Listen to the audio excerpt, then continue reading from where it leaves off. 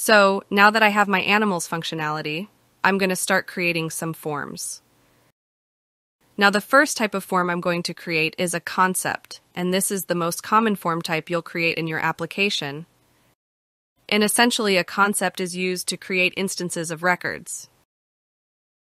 I'm going to create concepts of type pets. Now, what I want to do is I want to at least capture the name of my pet. So I'm going to add a field definition and in the top left corner of my form.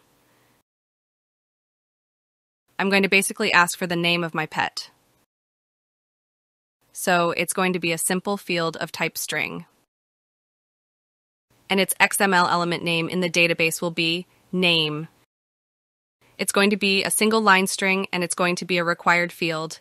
Now I need to define the life cycle of my pet. For this example, I'm just going to create my pet in the active state. And to make that the default state of my pet record, if I go back to my form, the last thing I needed to do for a concept form is define a default instance name.